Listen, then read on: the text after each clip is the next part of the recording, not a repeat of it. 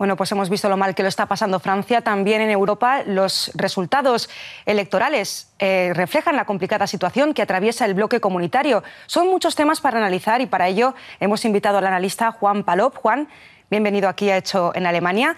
El grupo conservador va a seguir teniendo la mayoría en la Eurocámara. ¿Podemos decir que para los próximos años, los próximos cinco años, nos espera más de lo mismo, es decir, más austeridad? Yo creo que podemos esperar pocos cambios la política de austeridad va a seguir siendo un eje esencial en Europa, principalmente porque la familia política conservadora de Juncker y Merkel ha ganado las elecciones. Lo que sí que creo que vamos a ver es una cierta reformulación en los próximos meses de la austeridad.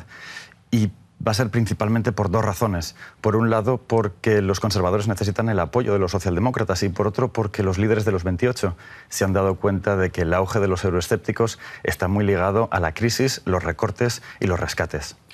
Los votos a los euroescépticos que estabas comentando son un claro aviso a esta austeridad impuesta aquí desde Alemania, desde el gobierno de Angela Merkel. ¿Piensas que el mensaje en el norte en forma de, partidos, de votos a los partidos de extrema derecha y a populistas, y en el sur en, forma de votos a la extrema izquierda, ¿piensas que este mensaje va a llegar a Bruselas? La Unión Europea y los líderes de los 28 creo que se han dado cuenta después de estas elecciones de que algo marcha mal en Europa. Hollande y Merkel han salido rápidamente a decir que la prioridad ahora debe ser el crecimiento y el empleo. Pero la verdad que esto mismo lo dijeron hace más de un año y desde entonces hemos visto pocos resultados. Creo que los conservadores y los socialdemócratas se van a enrocar en su mayoría parlamentaria en, en Europa y vamos a ver solo pocas cesiones o pocos guiños a los euroescépticos, como puede ser una devolución limitada de competencias a los estados nacionales. La extrema derecha ha ganado en Francia en la segunda potencia económica de la eurozona y de la Unión Europea. Marine Le Pen ha ganado claramente estas elecciones. ¿Cómo podemos interpretar estos resultados? Yo creo que el voto al Frente Nacional ha sido un voto de desesperación. La economía francesa está estancada y no tiene visos de crecer en los próximos meses.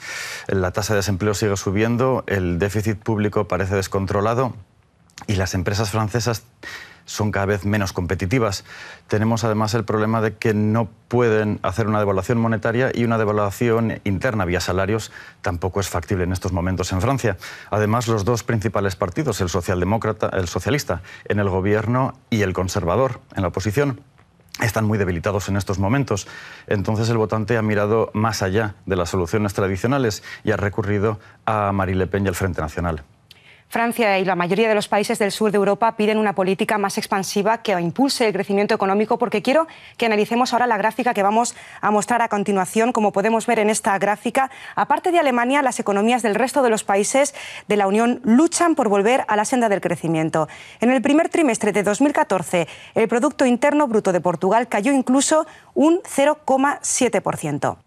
Estos países piden, por ejemplo, al Banco Central Europeo que se involucre más, piden más ayudas que impulsen el crecimiento. ¿Tú piensas que Mario Draghi anunciará la próxima semana una bajada en los tipos de interés?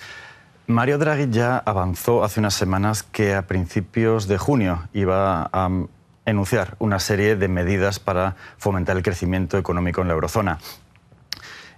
Los inversores le han creído y en las últimas semanas hemos visto como el euro se ha depreciado casi dos céntimos con respecto al dólar, lo que ya ayuda a las exportaciones. Eh, yo creo, por un lado, que vamos a ver una reducción de los tipos de interés más simbólica que efectiva, acompañada de una serie de medidas no convencionales que pueden ayudar a que el crédito vuelva a fluir hacia las empresas y las familias. De todas formas, yo creo que podemos descartar una política monetaria expansiva de carácter agresivo, como se ha producido en Estados Unidos o Japón. Juan, muchísimas gracias por haber estado en Hecho en Alemania.